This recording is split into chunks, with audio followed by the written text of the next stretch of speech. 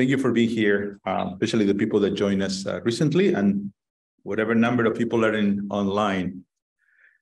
Okay, let me introduce the speaker uh, today, this, this um, afternoon, Richard Viladesau. Professor Emeritus, he's a, he's a professor emeritus in the Department of Theology at Fordham University. Um, he's a Roman Catholic priest with 50 years of pastoral experience serving in both the Latin and Ruthenian Byzantine rites. He has written extensively on philosophical theology, aesthetics, and homiletics. He is a practicing artist and an amateur musician, as well as a writer. So um, let's welcome Richard to the podium. Richard.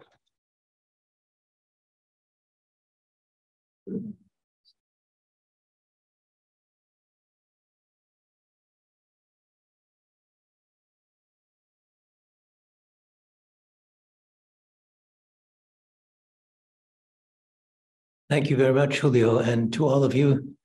This has been a very interesting time for me, uh, demonstrating the truth of the uh, the Jaina epistemology of anekantavada, uh, no single point of view, uh, which I think is a, a wonderful thing. Uh, several years ago, I was living in a parish that hired a new organist, young man Jed, who came from somewhere in the mountains in the south. And the pastor invited him to dinner to get to know him a bit more. And uh, he asked him at one point, Well, Jed, uh, what church do you belong to? And he said, Well, I figure I belong to any church that I play the organ in.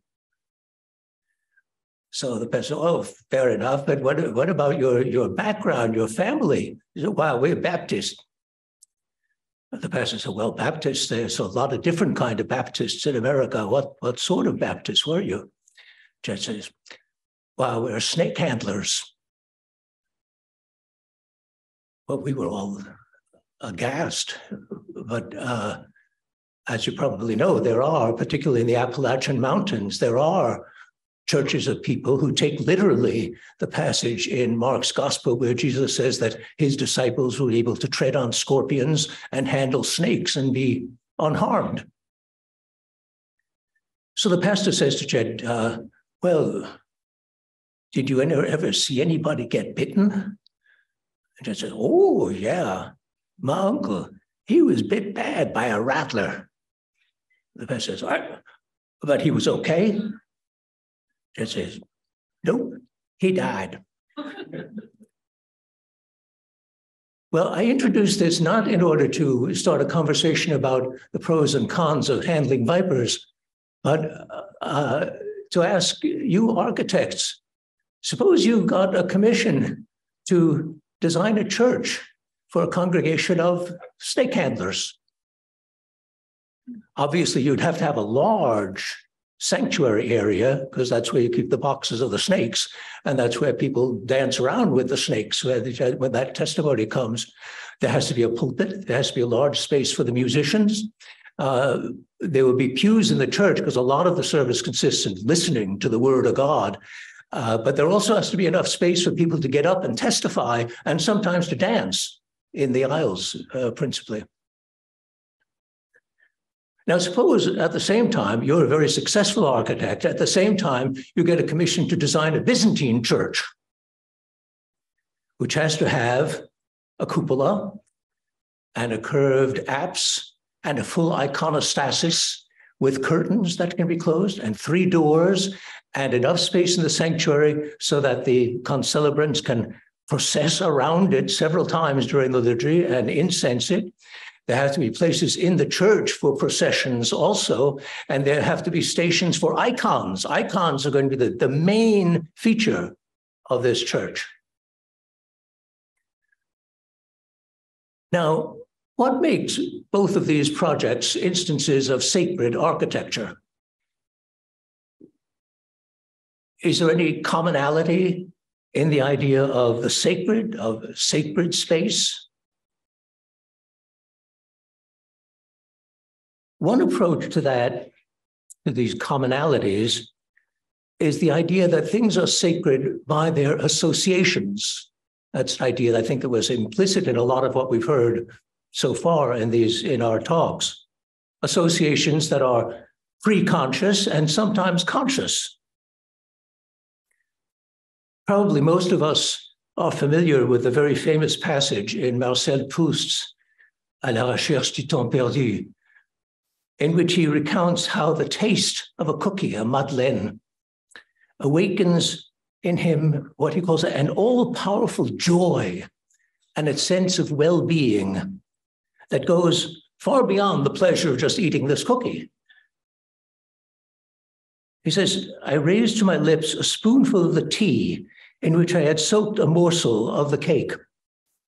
No sooner had the warm liquid and the crumbs with it touched my palate than a shudder ran through my whole body, and I stopped, intent upon the extraordinary changes that were taking place.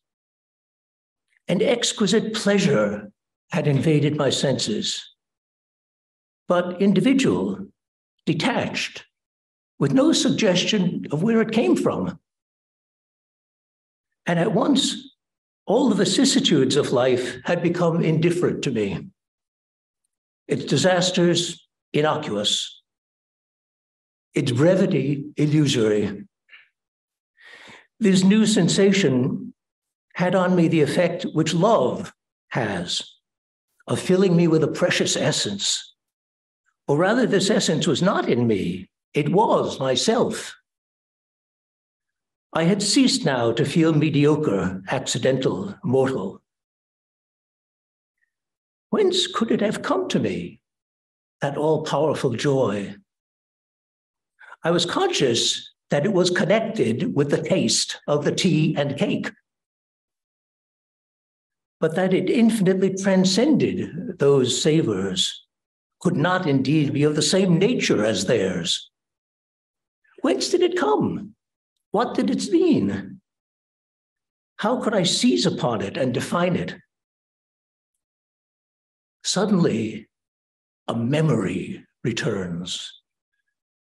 The taste was of that little crumb of Madeleine, which on Sunday mornings at Combray,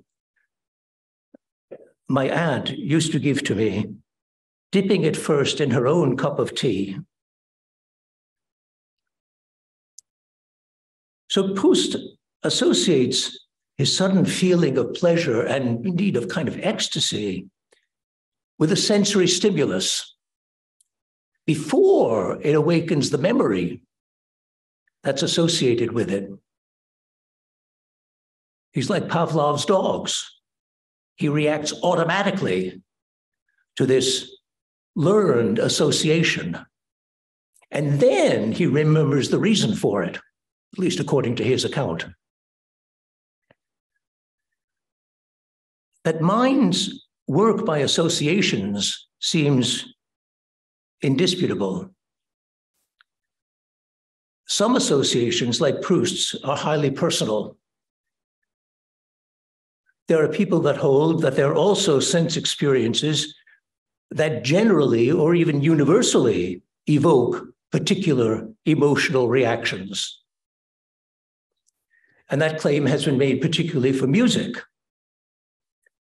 In Dryden's Ode to St. Cecilia, which was sent to music by Handel, he asked rhetorically, What passion cannot music raise and quell? And he gives examples. And similarly, in Nicholas Brady's Hail, Bright Cecilia, which was set by Henry Purcell, the poet proclaims music's mighty art to court the ear or strike the heart. At once the passions to express and move. We hear, and straight we grieve or hate, rejoice or love.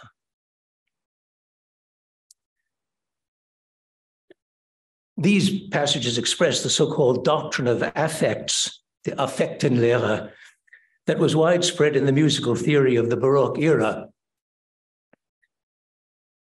the notion was that musical sounds and the arrangements of them are able to express emotions.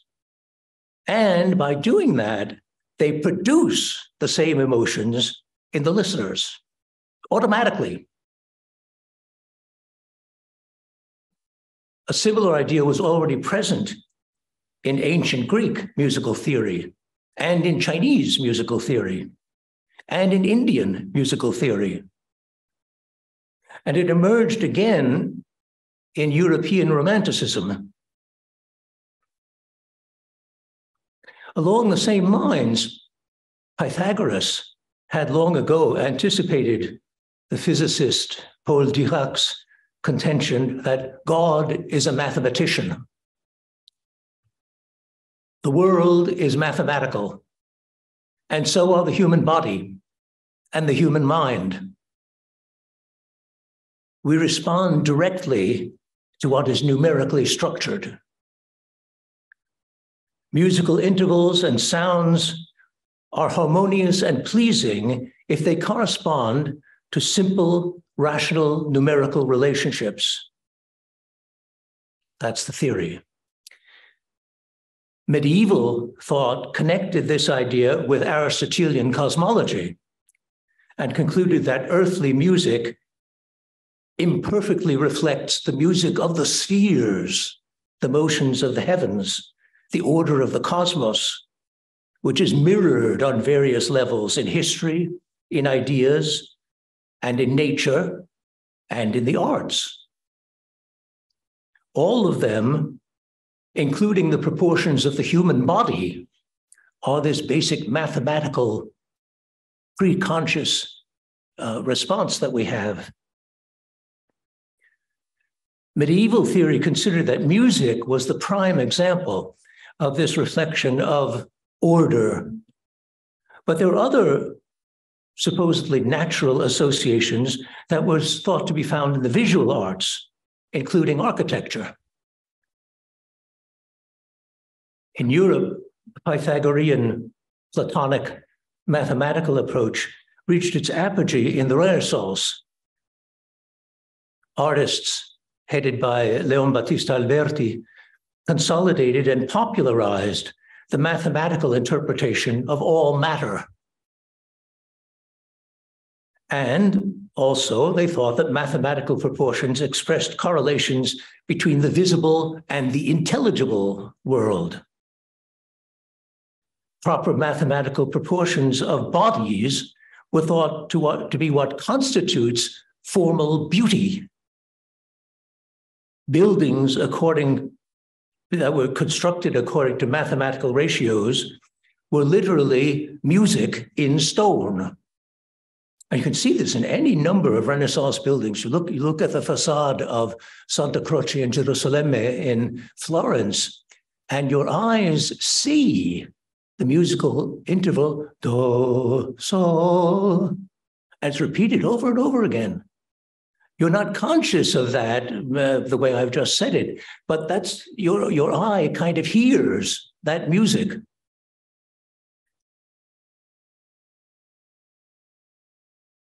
The theosophical movement of the early 20th century gave the same kind of value to colors and shapes. Artists that were influenced by that movement believe that color exercises direct influence on the human soul, or as we might say, the human mind. And empirical research seems to bear out some of the intuitions of the artists. Colors, different colors, do seem to tend to produce in viewers psychological and biological reactions that are similar even across cultures. So musical sounds, shapes, colors, and dimensions seem to produce associations of feelings that are to some extent transcultural and maybe even instinctive. Anjan Chatterjee has demonstrated that some of these components of aesthetics, including even mathematical relations, can be shown to be related to evolutionary adaptiveness and are amenable to empirical investigation by neuroscience. And the same seems to be true also of certain symbols and some aspects of language. So it seems quite possible to make some limited generalizations about common characteristics of experiences of certain kinds, while recognizing that there are differences that depend upon physical, cultural, social, and individual circumstances and situations. So, what about religion or spirituality? What about the encounter with the divine or with God or with the holy or with ultimate reality? Are there common features of such experiences? Except on a purely idealistic or dualistic philosophical position, it would seem to make sense that there has to be an evolutionary biological basis for all our experiences, including our spiritual experience. But are there specific spatiotemporal conditions that produce, or at least favor, the arising of these experiences? Very famously, the German Lutheran pastor Rudolf Otto proposed that there are his theory of associations. He said, We find and we produce mental states that are analogous to what he considers the special religious experience of the holy. The English title of his work is The Idea of the Holy, but the German title is more revealing Das Heilige, über das Irrationale in der Idee des Göttlichen und sein Verhältnis zum Rationalen over about the irrational in the idea of the godly and its relationship to the rational. He reminds us then that the primary field of religion is not theology, but non rational feeling, what we might widely call aesthetics. Otto attempts to explain the relations of that realm of the holy to the aesthetic by what he calls a law of associations. For him, religion is grounded in the experience of the holy, or the numinous, as he also calls it, which he defines as the mysterium tremendum et fascinans, the awesome or frightful and attractive mystery, fascinating mystery. You'll recognize elements that Dr. Chatterjee talked about last night. For Otto, this experience is sui generis. It cannot be reduced to moral or aesthetic experience or any other kind of experience. Nevertheless, he says the feelings produced by it have analogies to feelings produced by other areas of human life, by beauty, by moral goodness, by truth. So he says the presence of one set of feelings can stimulate the appearance of an analogous set of feelings. So for him, music or art properly constitute a world unto themselves. The feelings and the moods that they produce are simply aesthetic and they should not be confused with any non aesthetic experience. At the same time, he says some properly aesthetic vibrations of mood are analogous to those aroused by the encounter with the holy. And by association, they can evoke the numinous in the hearer's or the viewer's consciousness.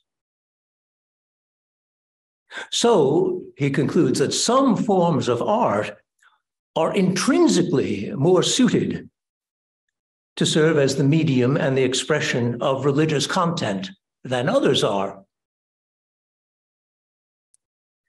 But it seems to me that Otto's theory raises some fundamental questions.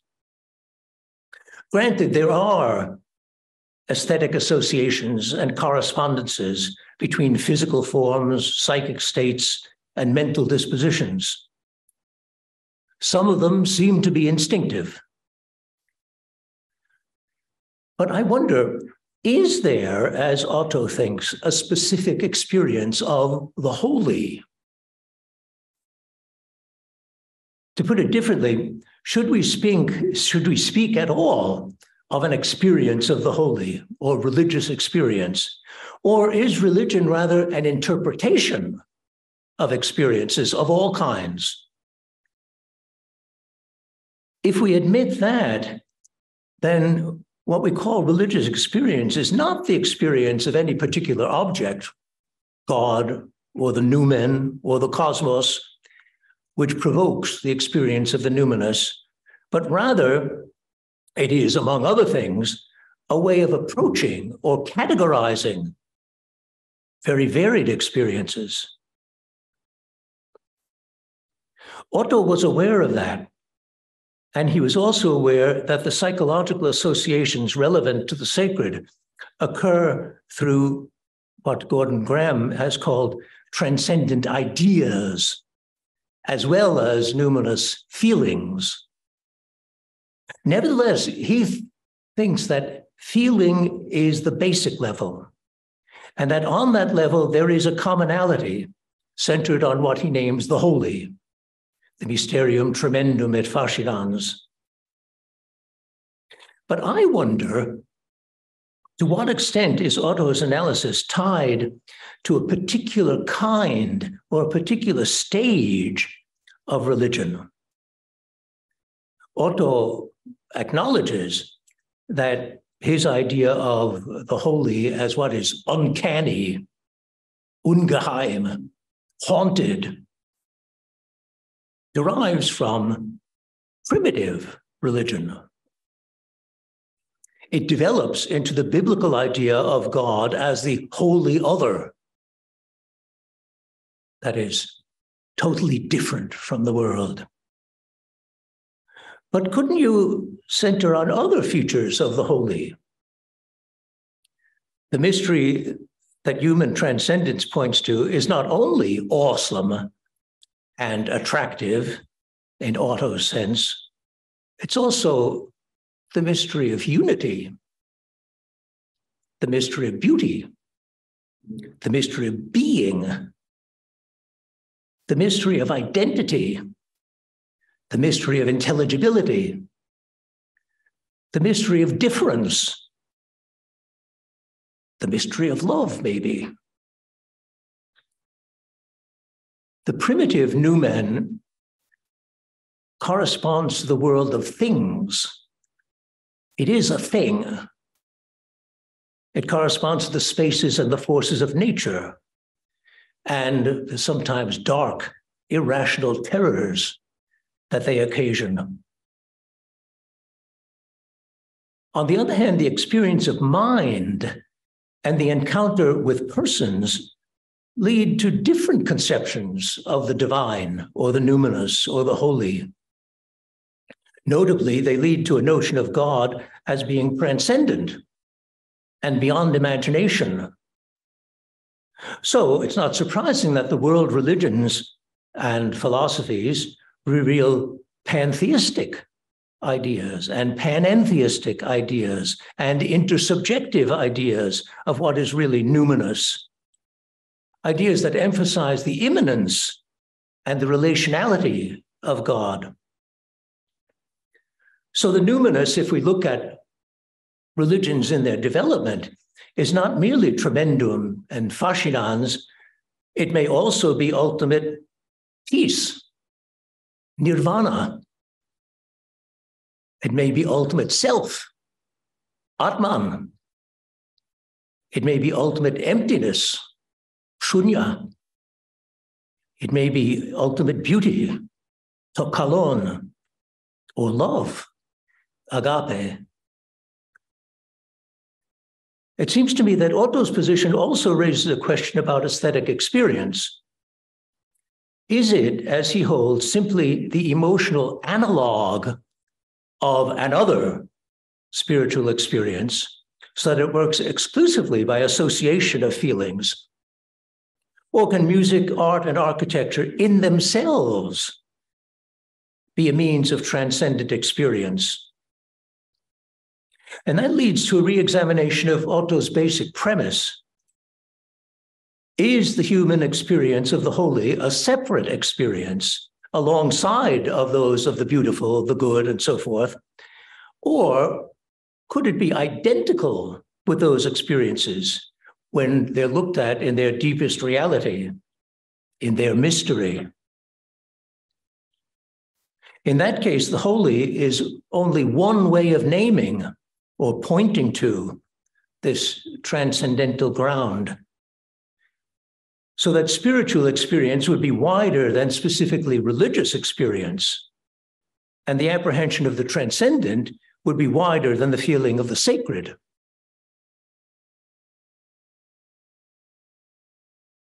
Without denying the essential validity of the notion of the association of feelings operating on many different levels, it's perhaps possible, nevertheless, to regard the mind's apprehension of a transcendent mystery not simply as a parallel experience, but more as a kind of meta experience, or as Kant would say, as a condition for experience.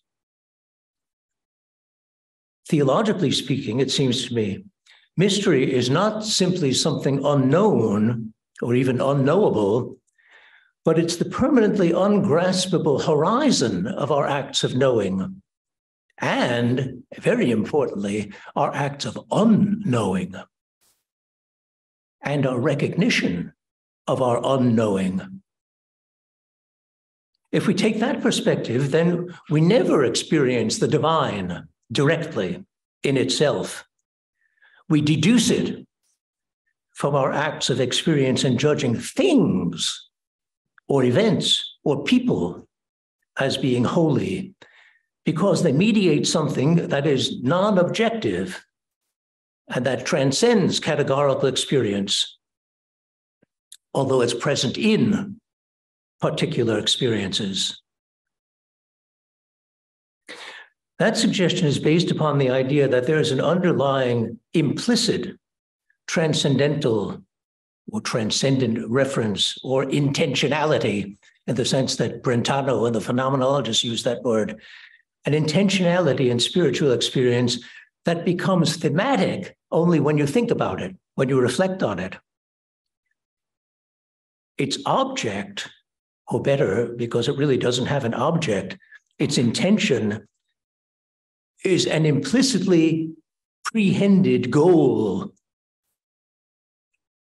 which is the mysterium, the ground of being and of thinking, which in some religious contexts may be called God.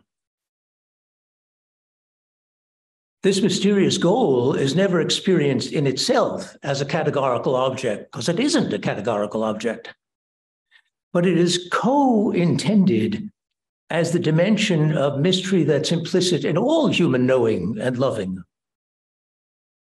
And importantly, it seems to me, it's co experienced not only in knowing, but also in my realization that I do not know and that I can anticipate the unknown, at least by wondering about it. The anticipated complete intelligibility as mystery grounds the analogies that we find in human reactions to integrity, beauty, the good, the real, and the holy, namely reactions of awe, wonder, desire, questioning, fear, and anxiety.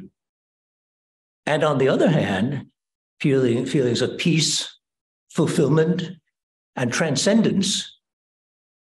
And at the personal level, at the same time, detachment and engagement, paradoxically.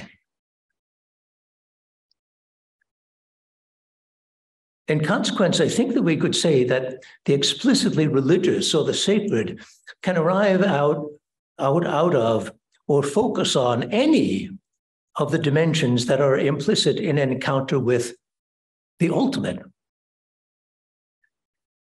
So, spiritual experience is not to be defined a priori as a particular kind of experience. There are different genres of spiritual experiences. On the pre ontological level, the pre philosophical level, they're generally associated with forces of nature, with fear of the unknown, with a sense of the uncanny, as Otto emphasizes. On an ontological level of thinking, they can be centered around truth or reality or beauty or goodness or unity or love or any other aspect of transcendence or on the felt absence of them. On the critical level, spiritual activity centers on seeking the real rather than illusion. On the moral level, it centers on love, intending a universal good instead of egotism or tribalism. On the personal level, it centers on integrity, orientation to wholeness, to God, self, community, and world. And on the aesthetic level, it seems to be an orientation to the beautiful rather than what is simply and only pleasant. It seems to me that spirituality could be centered around any of these or on the lack of them by way of contrast or need or perplexity or wonder. So that for me, it seems that the experience of the holy points to something ultimate.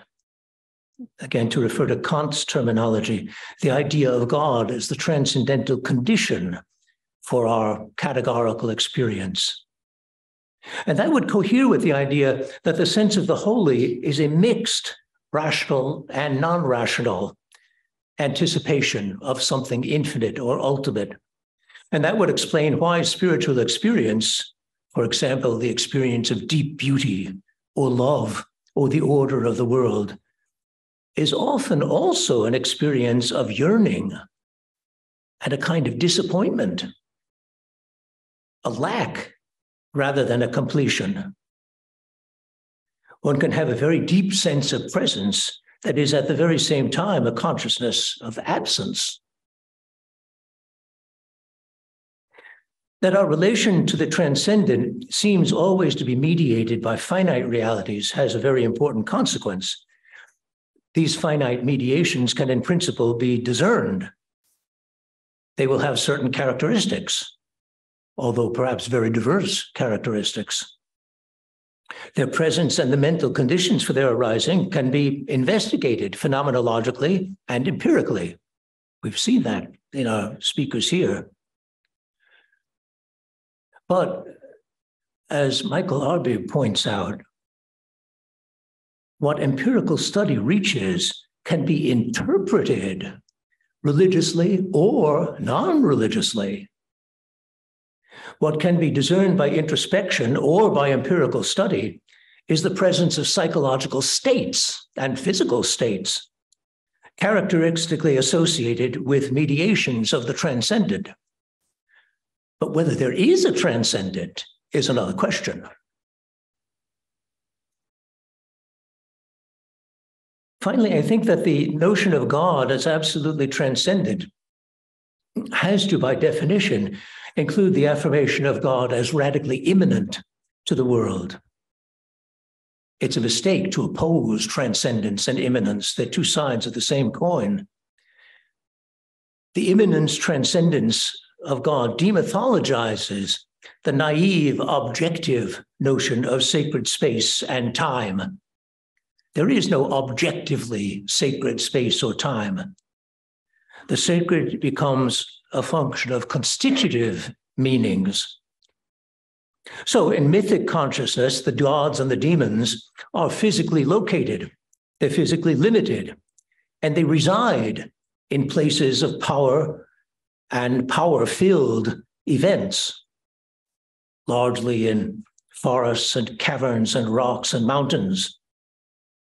Sacred space then is where the power is present and effective. The location might be thought of as the actual dwelling place of the divinity or the demon. Or it might be a position defined by an orientation, pointing toward a locus of powerful associations. Mecca for the Muslim, the East, where the sun rises for Christians, for early Christians anyway. I once asked my class, uh, a class in aesthetics, why did the early Christians worship facing the East? No reaction at all. Nobody, nobody had the slightest idea. Suddenly, from the back of the class, a young man raised his hand, Mahmoud, a Muslim. And he said, they face the east because that's the direction that Jesus will come in, come from at the last judgment.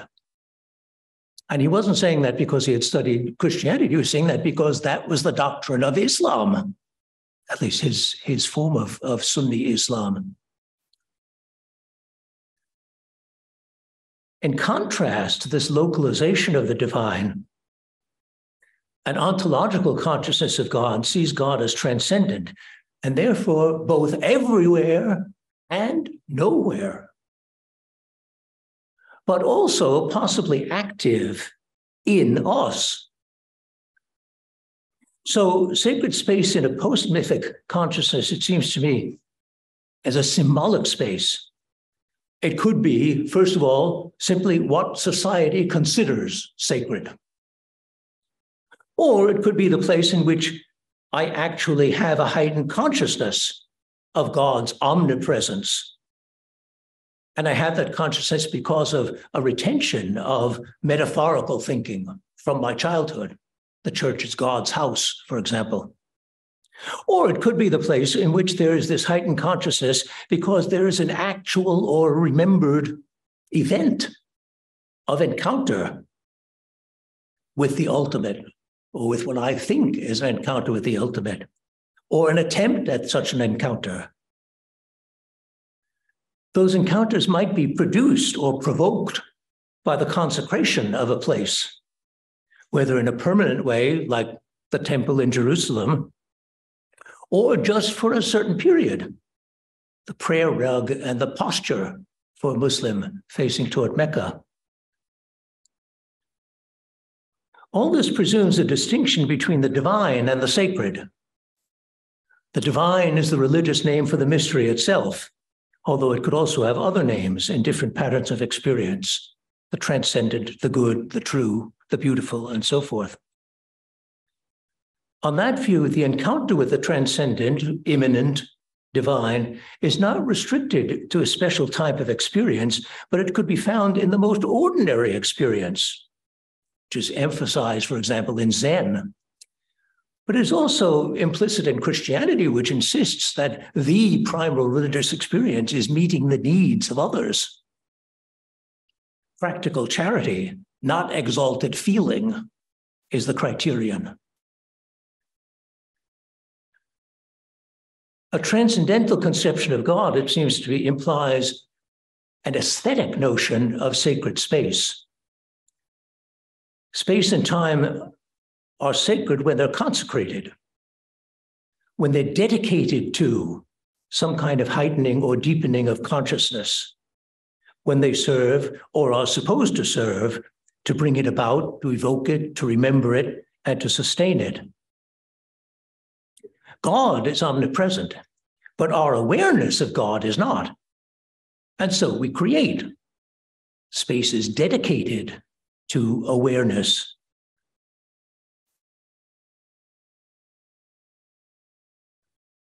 Obviously, not all art or architecture seeks depth or transcendence. Art can be a means of communication with very different messages. It can be entertainment, it can be distraction, it can serve a purely functional purpose. And there are very different associations with the feelings connected with spirituality. Art can be spiritual to different degrees and in different ways. Ultimately, it seems to me that what makes space time sacred or suitable to be sacred is its actual use, or its suitability for use in heightening consciousness.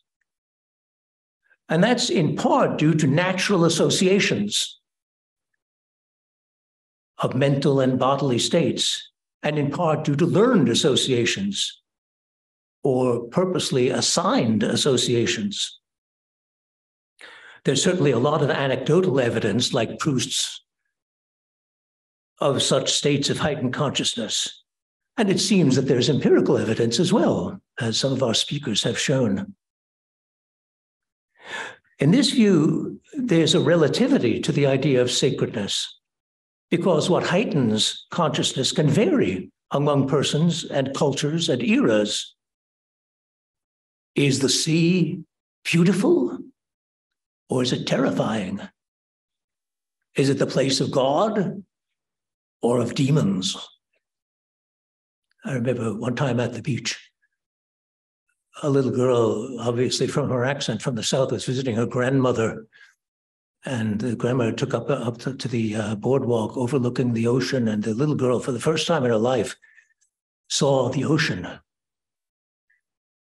And she said, It's a thing of the devil, Grandma. It's a thing of the devil.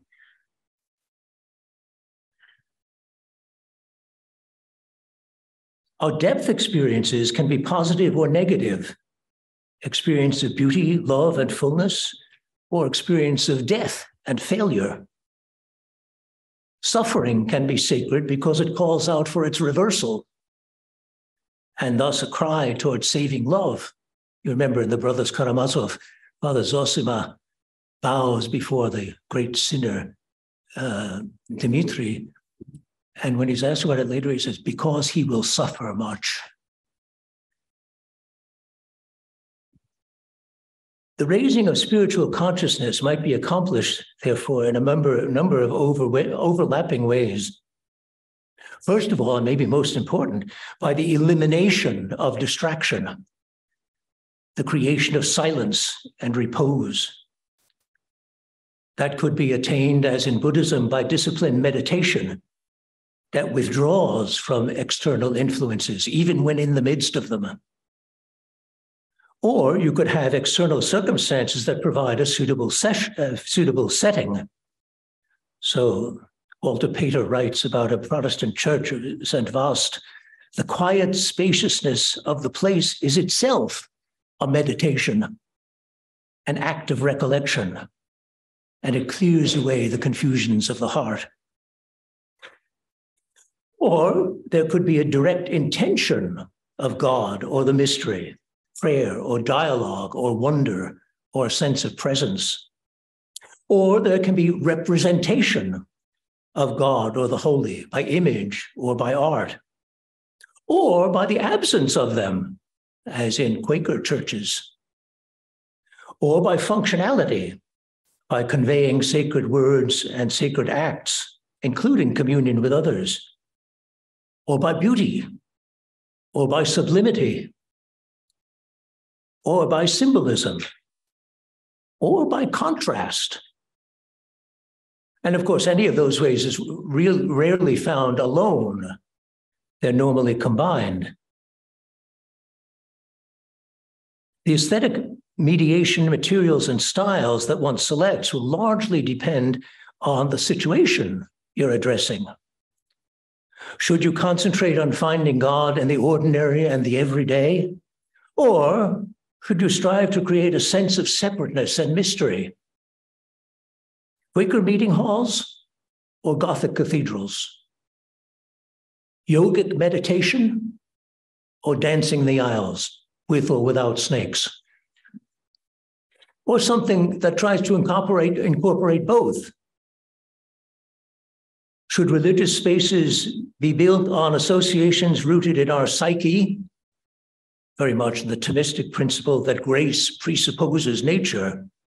Or should it avoid them on the principle that the supernatural crushes and destroys sinful nature? In our days, it seems to me there's an additional challenge of serving diverse and pluralistic communities. Can you find a spiritual aesthetics, including architecture, that will address the many different sorts and levels of spirit?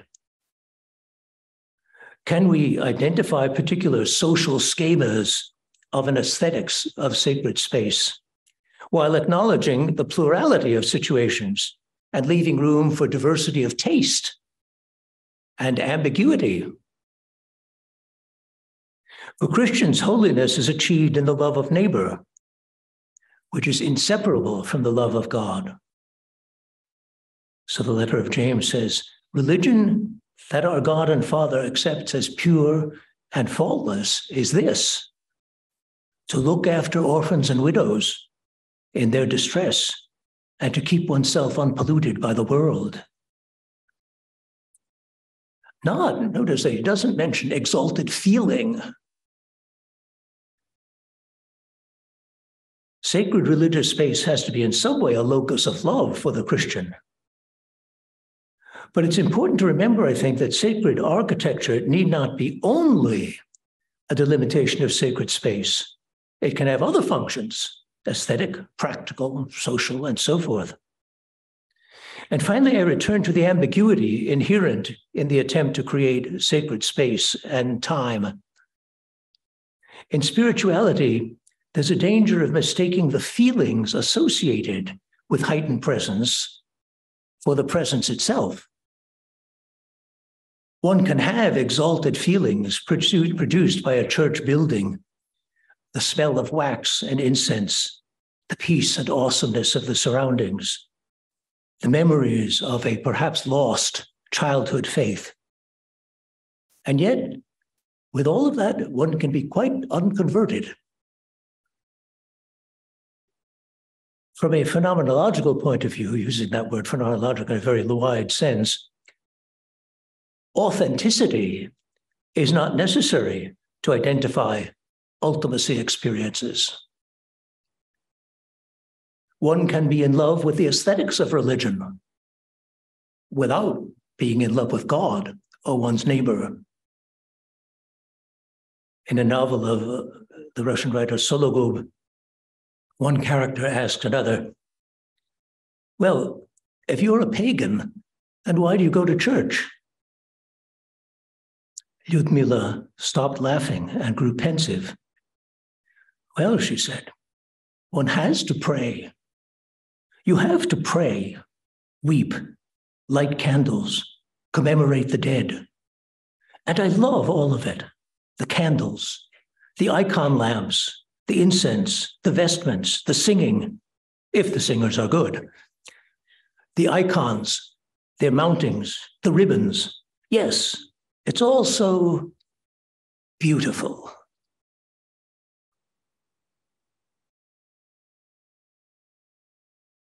Physical spaces, it seems to me, can provide contexts that permit and evoke religious, intellectual, and moral conversion, and at their best can support their integration.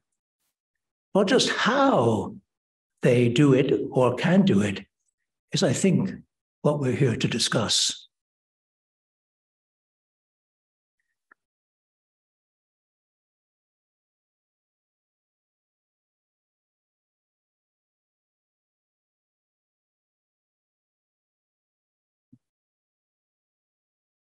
Thank you, Richard. I, think we're going to do the same thing we do yesterday night. Uh, we're going to invite three uh, individuals to respond to uh, Richard's uh, lecture.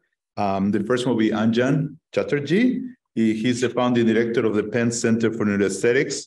He wrote The Aesthetic Brain and co-edited Brain Beauty and Art and uh, Neuroaesthetics in Practice and the Root of Cognitive Neuroscience He's uh, has served on editorial boards of several neuroscience, neurology, ethics, and aesthetic journals. He received the Geschwind Prize in Cognitive Neurology by the American Academy of Neurology and the Arnheim Prize for Contribution to Psychology and the Arts by the American Psychological Association. He was um, past president of the International Association of Empirical Aesthetics and the Behavioral Cognitive Neurology Society. Anjan, please.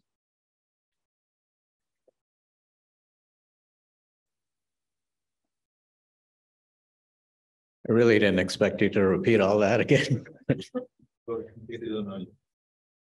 um, there's so much there. To move this so you can see me. Um, so in the early 90s, uh, I started my faculty position at the University of Alabama in Birmingham. And uh, around that time, uh, there was a professor in the English department who wrote a book called Salvation on Sand Mountain, uh, which was a, an account of snake handlers uh, about half an hour from where we were. Uh, and this was a finalist for the National Book Award. Uh, and I would drive around uh, Sand Mountain, uh, but I never got to actually see or participate in a snake handling um, form of worship. Um, what you had to say was very, very rich and also quite removed from what I typically do. Uh, so anything I say is a real stretch. Having said that, I think a question I would like to ask and then work my way towards it is mystery was a dominant theme in much of what you talked about. And the question is Are there different forms of mystery? Uh, and it, in some ways, might seem like a paradoxical question because the nature of mystery is to not know. But is there ways in which we can ask, uh, are there different forms of not knowing, and uh, and what might that mean? You did talk about how forms of art or forms of architecture can serve as vehicles towards the transcendence. And that's a kind of thing that, a kind of idea that has some purchase for people who do empirical work, because then the questions are under what conditions does that happen? Are there features about art? Are there features about architecture? Are there features about the people inhabiting those places that predispose them? Those are all at least in principle, tractable questions, and one can start to address. And that just gets you closer and closer without necessarily getting you at the core of what I think you're driving at. The other uh, point around this is uh, the law of associations. Uh, and some of what I presented towards the end of my talk yesterday uh, with these kinds of semantic networks that we're working on is a kind of laying out a law of associations, uh, which, as I mentioned yesterday, even with the notion of sacred, can that be deconstructed as different uh, associated ideas to sacred? Uh, does that um, is that associated with notions of awe and wonder? Is it associated with notions of contemplation? Is it associated with notions of sympathy and love and empathy? Is it associated with notions of humility? All those show up in our networks. Uh, and so it starts to give some, I think, some granularity to the notion of even what what's what travels along with notions of awe and wonder, and how would you try to characterize uh, what it is uh, to be sacred, uh, and that that might take different forms as well. But it still gets us to this question of mystery, and uh, there's another term that is used. Uh, especially when people are talking about art, and it came up this morning in some of the panel discussions, which is the ineffable and the ineffable seems to me has some relationship perhaps to how you're talking about uh, mystery. But the ineffable presupposes some knowledge of what is effable.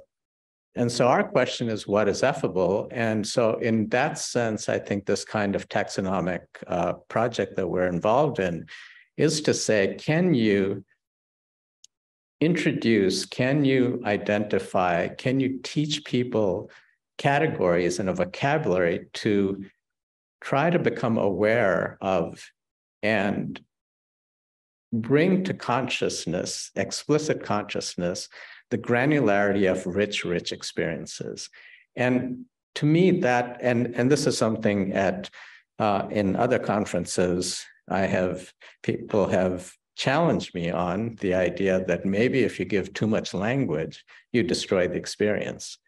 Uh, I think that is not true. I think that might there's a transition period where that might be true, but in the same way that if you uh, are taught a vocabulary of how to experience wine or experience a sip of bourbon, that this actually in time enriches your experience.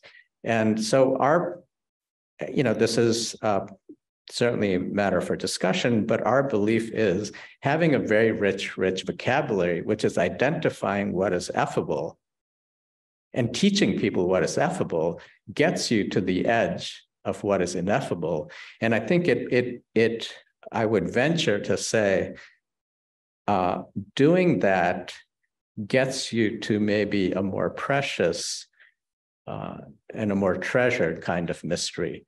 But the broader question using this kind of uh, work that we're doing and thinking is are there different kinds of mysteries?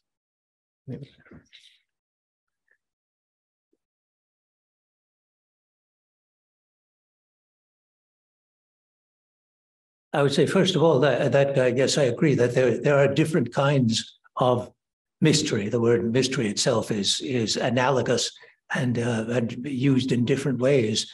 Um, and I agree also that there are means of bringing people to recognize limit experiences. I mean, we're going to have limit experiences if, if, we're human. At some point or other, we're going to have such experiences. We're all going to be challenged with failure and sickness and death and lack of understanding and so forth. Um, the question is, what do we do with them? Do we recognize them? Uh, is there an opportunity in them to to transcend, to get beyond? Um, and I think that, as you said, there there are means of bringing people to the point where where it, it where it's possible, uh, where the, where they're faced with an a decision, an existential uh, decision about it. And of course, one can fail in that too. Uh, of course, in, in, in, both in Hinduism and in Buddhism, there are uh, darshanas, there, there, are schools of just how you do that. Uh, particularly in Buddhism, with the teaching of, of meditation, but also in, in uh, uh, the yoga darshanas in Hinduism. And it's uh, largely lost in the West, but the West also has um, spiritual schools of trying to bring people to that kind of experience and decision. Some of them very explicitly cataphatic, that is, using words, using images. You think of, say, the Ignatian method of meditation. Some of them explicitly renouncing all of that. You think of John of the Cross uh, uh, and his schools of, of meditation. So I think again we're faced with the you know the anekantavada, the no no single point of view, but in that pluralism, I think that we can find certain things that we can identify as limit experiences and pointing beyond them.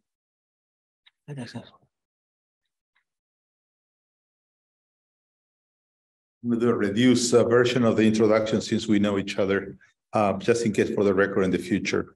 Um, Gordon Graham will be the second uh, responder. He's the chair of the Edinburgh Sacred Art Foundation, emeritus professor of philosophy and the arts at Princeton Theological Seminary in the USA, so for here, and a fellow of the Royal Society of Edinburgh, Scotland's premier academy.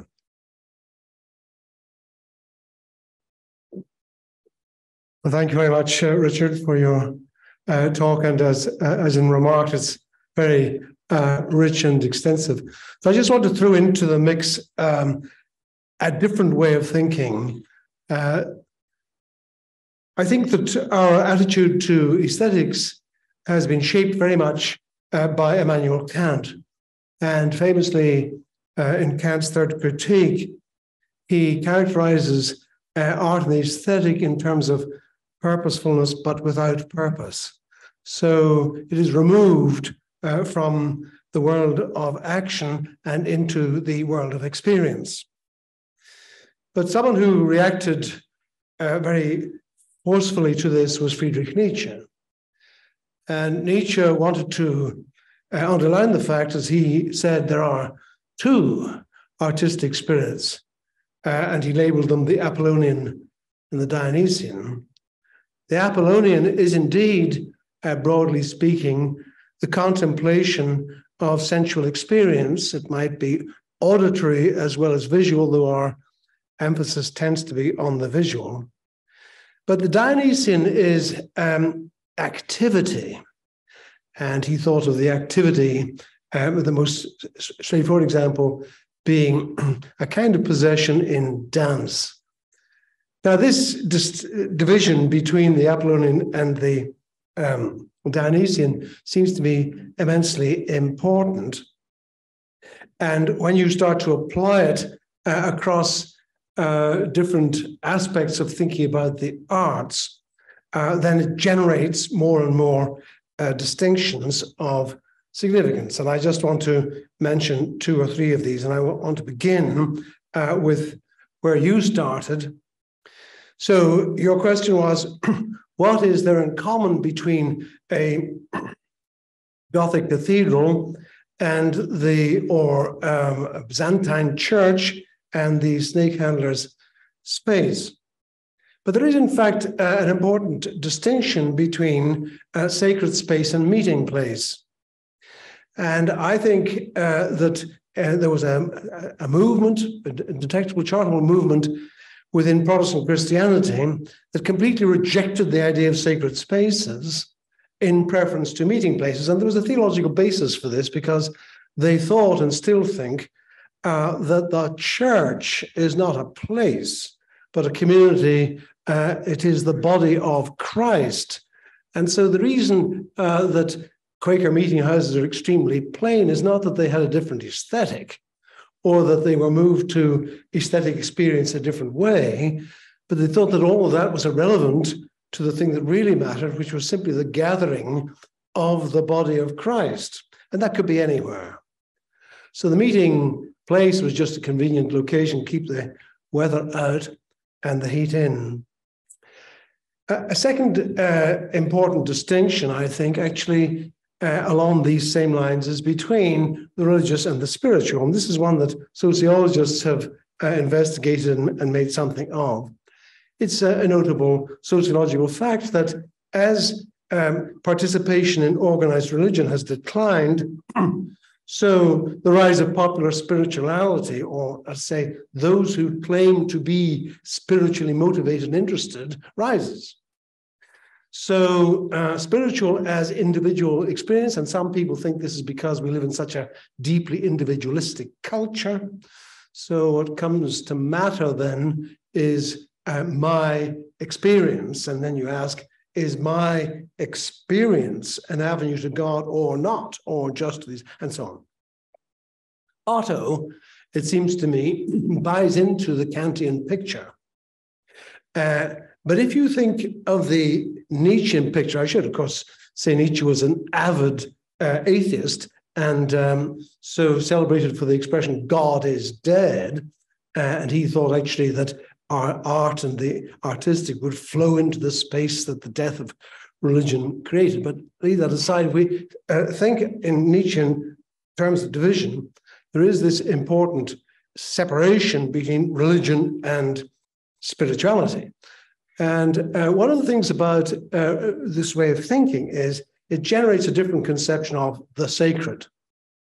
The sacred in this way of thinking is not, as it were, something that has a kind of resonance or uh, echo or um, analogy uh, with the mysterious and the transcendental and the holy other. The sacred is that which is set aside for certain sorts of purposes. And although, from this point of view, uh, the relevant emotion is connected with awe and wonder, the actual heart of the matter is uh, the attitude and action of veneration. So, if you think of, for example, the preservation of relics, then a bit of bone or something, there's nothing beautiful about that. It's not that uh, it's going to uh, give you tingles or anything of that kind. It is rather that uh, the history of this bone is, let's just say, this actually is, or take, take a better example, uh, this is a, a, portion of the true cross. So to, I once read that if you got all together all the fragments of the true cross, you'd have the cedars of Lebanon. So it's not a trace that they are, but it doesn't matter for my purposes. So the reason that you uh, have a certain attitude to this little piece of wood is not that it's beautiful or that it gives you a buzz or anything, but it came from the cross on which Christ was crucified. And that notion of veneration and reservation. If you think of, um, say, sacred vessels as these are used for uh, mass or commun- uh, communion, then those sacred vessels they're often indeed very high um, uh, artistic. But what makes them sac- sacred is not their beauty, but their uh, reservation for one purpose only. And that is why the Jews got so upset in ancient Israel when Roman emperors and the like took all their stuff to use them as feasting goblets and so on. So I just want to, as I say, throw into this discussion the idea that um, simply focusing on experience and thinking about religious experience in the fashion of Otto and indeed in the fashion of um, those kinds of experiments that try to uh, distill and, and examine uh, experiential responses on the part of human beings leaves out of account what is actually very deeply at the heart of religion, and that is the practices of veneration and adoration. Uh, and those practices, of course, bring with them certain emotions. But it's important to see if we're following Nietzsche's way of thinking that it's the practice that is the heart, not uh, the uh, feelings or experiences that go with them. And so when we think of uh, sacred things, uh, then this is um, objects, places, actually, some occasionally people who are set aside, preserved, protected, removed, reserved for certain specific purposes. And those purposes uh, are, are built into and connected with a wider range of human activity, which we call ritual. And not all rituals are um, religious rituals, but the same thing uh, is important. With, with this, I'm going to finish. If you take a ritual, a pure ritual, uh, like the inauguration of the American president, now, it is not the inauguration that gives the president the authority that he or she has. Uh, it's not the inauguration that decides who is going to be president. And it's certainly not the case that the feelings that are uh, generated, if they are, and of course, they'll depends who's being inaugurated, but the feelings might go many different ways. Uh, it's not the feelings that bestow upon the person the authority that they have, it is actually the ritual itself that bestows the authority. And the way I like to put this in terms of political philosophy is to say it turns power into authority. So political power becomes the exercise of authority. How? Through ritual. So, anyway, I just threw this in uh, uh, that there is a very important dimension to my mind about understanding the sacred that has to do with activity and not the experience. And ultimately, of course, these things have to be woven together. But I do think there is a, a tendency to focus too heavily on the notion of experience and specific kinds of experience or a variety of experience um, as the central concept when we consider the sacred. And I'm just not sure that's so.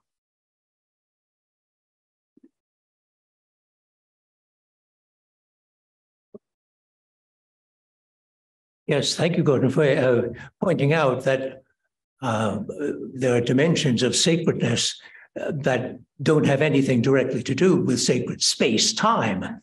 Um, you know, our focus here is on built environment and architecture, so I, th- I think that has understandably been, been our emphasis. Um, but obviously, uh, as I said, and as others have indicated, that the central uh, part of uh, Christianity and of other religions is action um, rather than just things or spaces. Uh, so, I, but, but that's a very uh, salutary reminder, I think.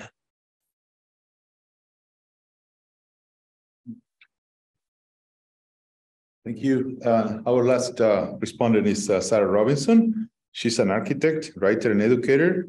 Her books, Nesting, Body, Dwelling Mind 2011, Mind in Architecture from 2015 with Juhani Pallasmaa, and Architecture is Verb 2021 are among the first works to engage the dialogue between architecture and the cognitive sciences.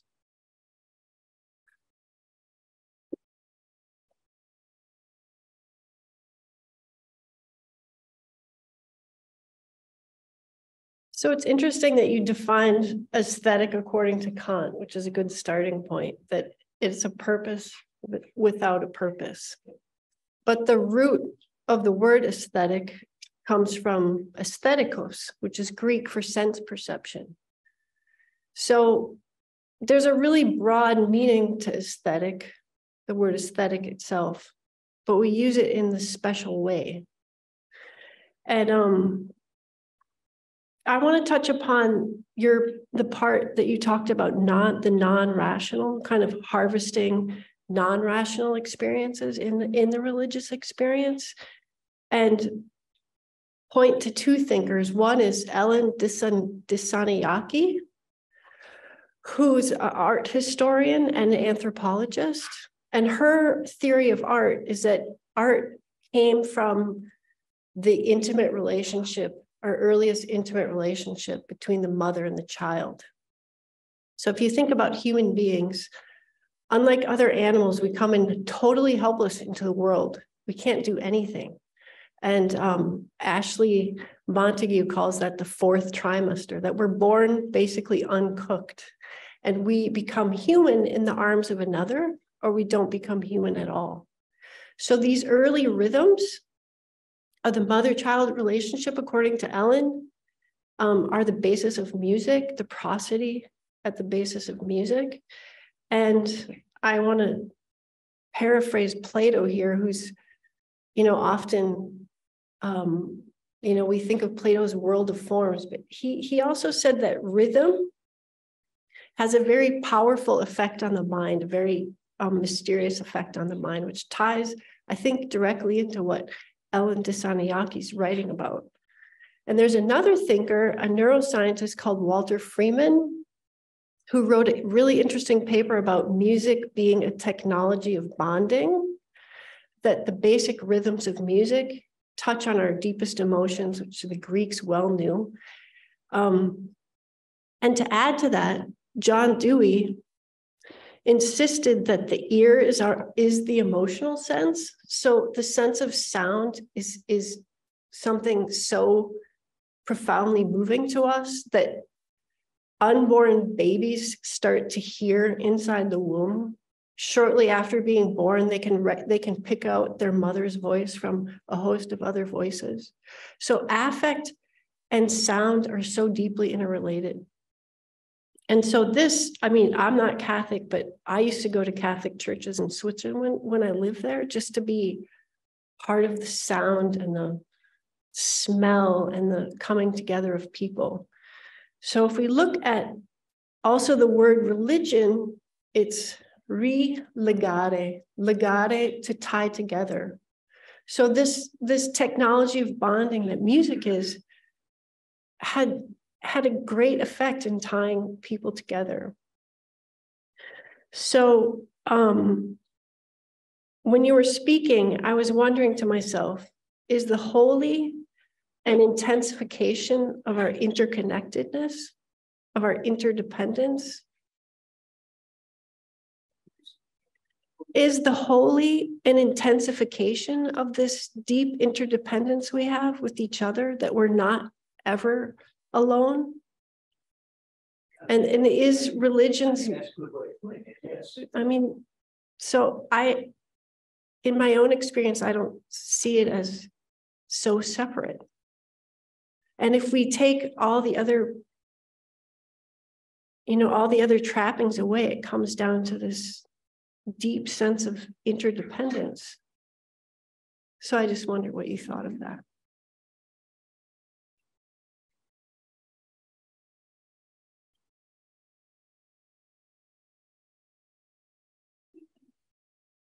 Yes, thank you. I, I, I agree that the our sense of interdependence uh, is crucial, particularly uh, when religion develops as, as it as it becomes uh, more civilized and and uh, less object related and uh, as as I think I said more more interpersonal.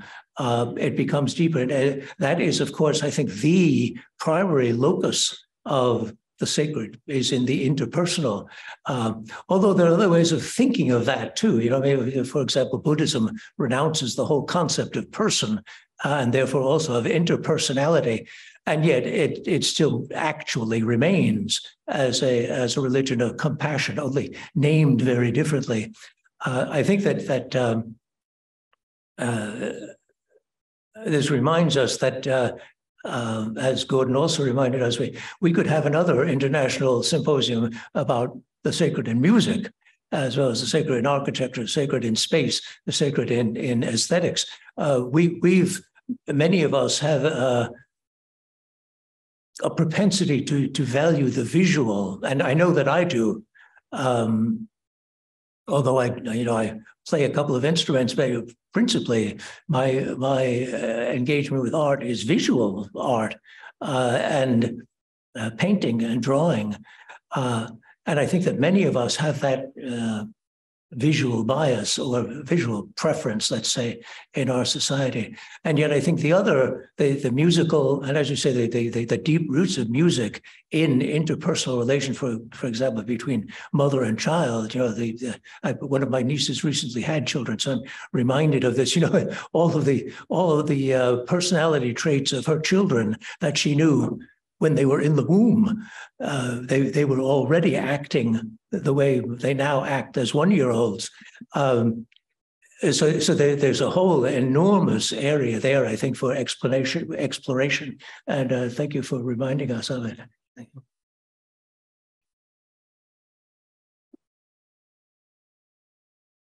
I think uh, I think it's time now to open up the uh, Q and A for the public. The attendees um, to, to, to ask questions or, or comments, um, please uh, raise your hand and we'll take the microphone to you. I wonder what Jonathan had to say about music and you want to say something? Let's come up with something.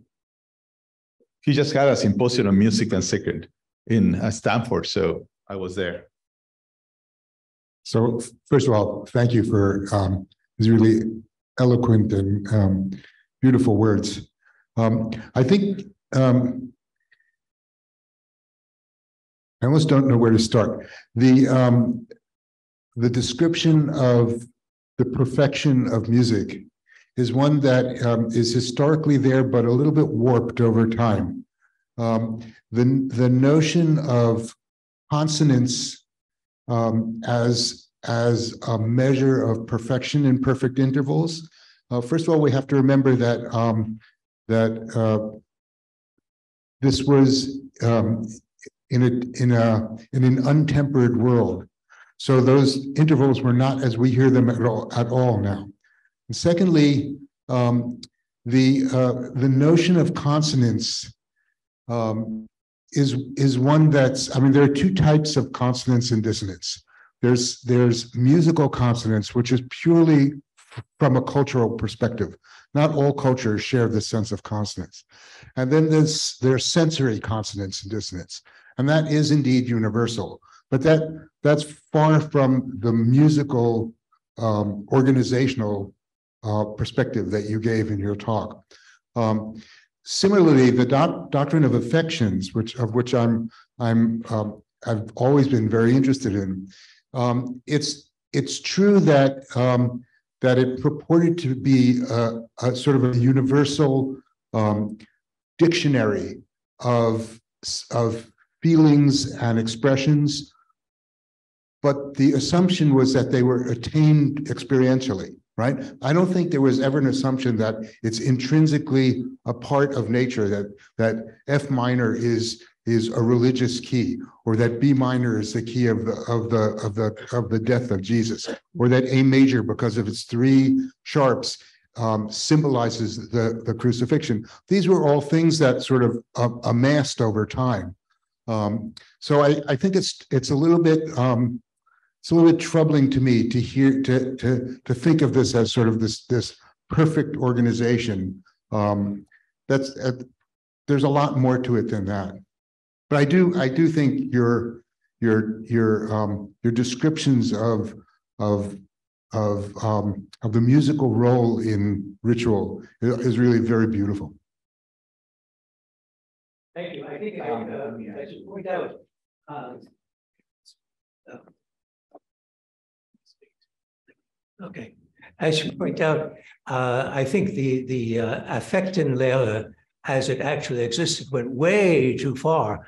They they made uh, far too many claims uh, for for what was supposed to be communicated uh, by music. So I I, I agree. Uh, I agree totally with that. I think that there is, as you said, there is there are some natural uh, consonances, and and uh, maybe Anjan and others can uh, can address that more. But a, a great deal more, I think, is is cultural, and I think that also I don't know whether the musicians were conscious of this, but certainly the visual artists were conscious of it. You know, for, for example, Alberti explicitly says when he talks about ratios, uh, he says the important thing is not to have the ratio physically, it's to look like you have the ratio. Uh, so they, they were, at least the artists were to a certain extent aware of the subjectivity and the um, variability of, the, of their theories.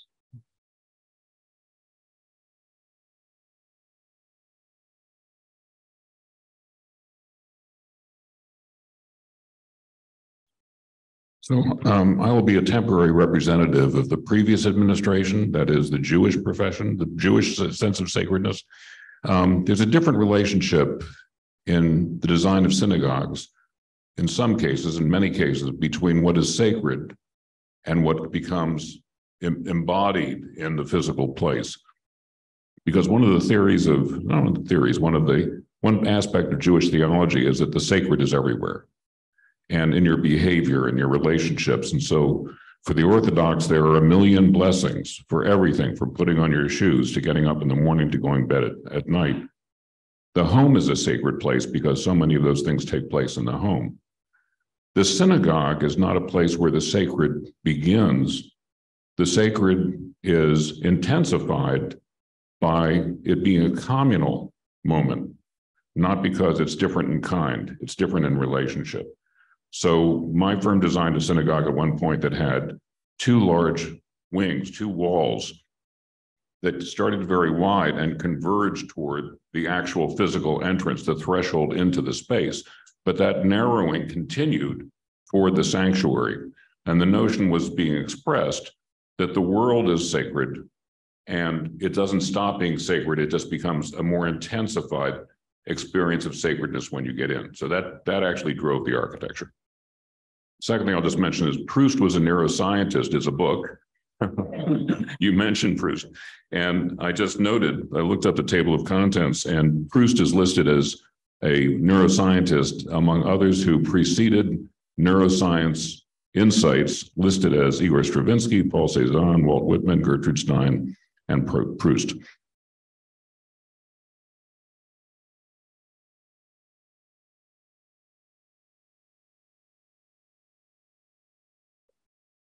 Robin.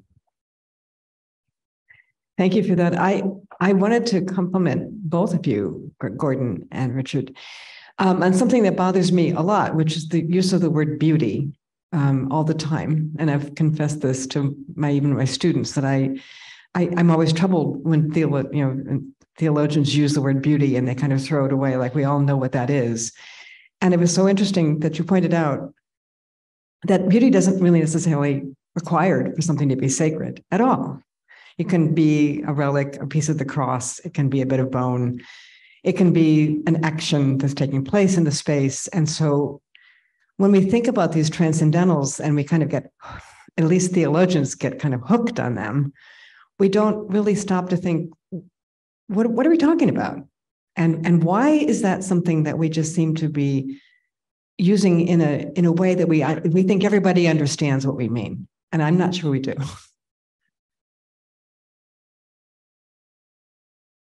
Yes, I think I think that's true. I mean, it's the uh, the notion of beauty is one that we, you know, it's it's become common to to talk about it, and and maybe we shouldn't talk about it so facilely, because uh, because there are all kinds of presuppositions. I mean, I realize that when I use the word beauty, uh, I'm thinking I'm thinking in Latin. I'm thinking pulchritudo, uh, and uh, and all of us probably bring a certain amount of baggage to it. So, but uh, but I think it's it's very unclear just what the beautiful is and that's that's another discussion. I think that that uh, that is very worth having. What what do we even mean when we use the word beautiful? Um, and of course, as, as, you know, there historically there are great debates about that about what what is beautiful is is beautiful simply uh, what pleases the eye as St Thomas says at one place uh, or is the beauty is beautiful the beautiful or transcendental uh, is the, the beautiful identical with being, um, which is another point of view. And uh, the other another point that you make that I think is very crucial is that the sacred need not have anything to do with beauty.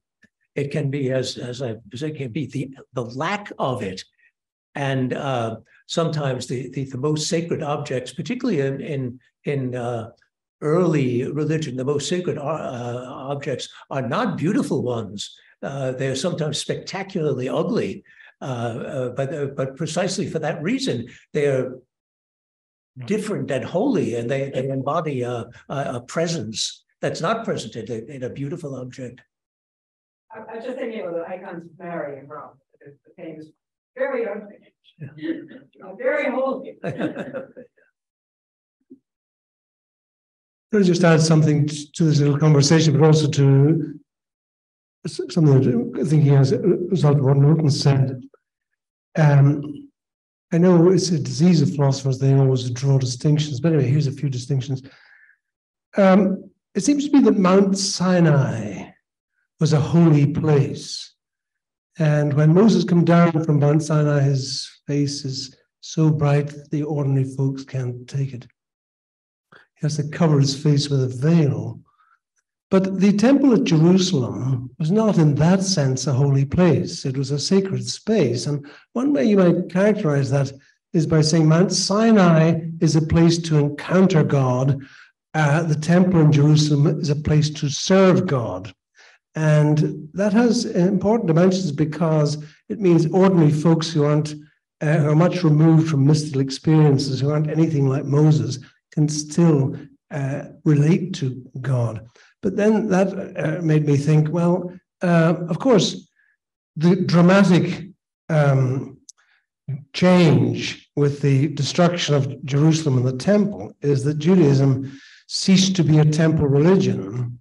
Uh, and so uh, in the second temple, I once read, there were 10,000 priests scattered across, uh, and now there aren't any.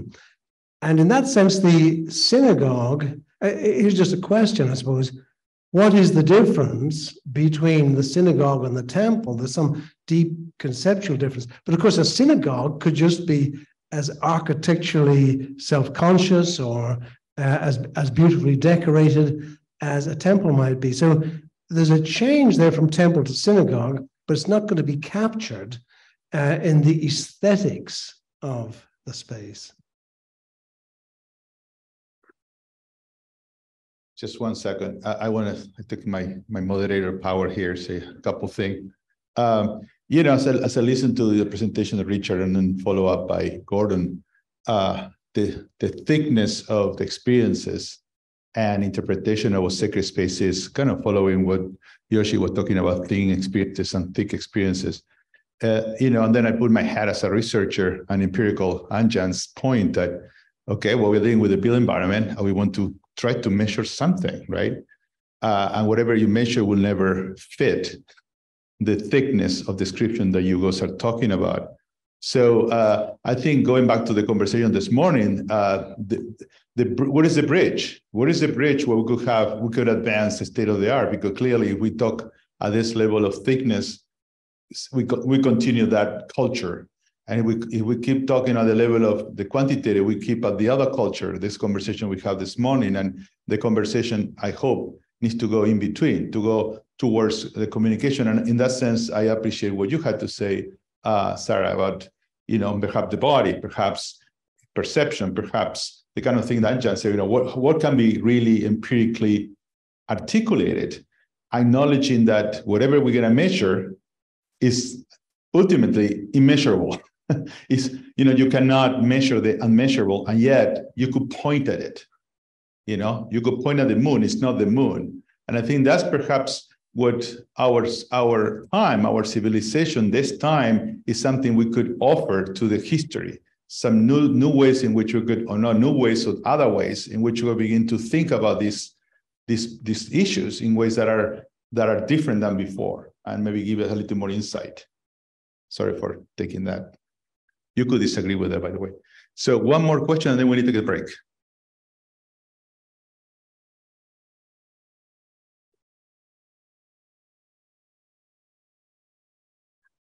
Um, just developing on what everyone has said, um, I think of the word transcendence, and we come, keep coming back to that, at least for me.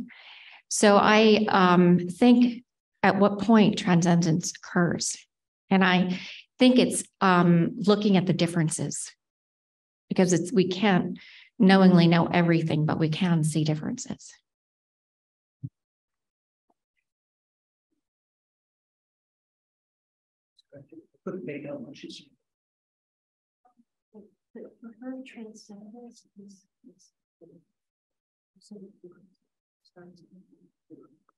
All right. Um, I think it's time for coffee. What? Have your response? I, I didn't, I wasn't able to hear the last, uh, question. That's Sarah. Okay. All right, time for coffee. So uh, 30 minutes, come back, please. Thank you. Thank you, Divine.